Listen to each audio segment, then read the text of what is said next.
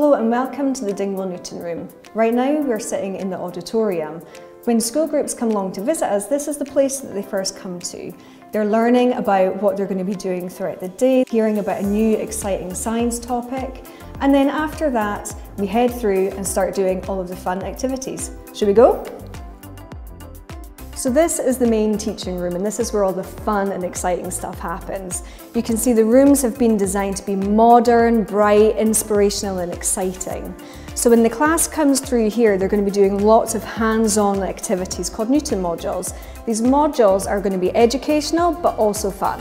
So we focus on key STEM activities that are important to the Highlands and Islands. So some days a class will come in and do renewable energy, Sometimes it'll be aquaculture, they might do robotics or health science even.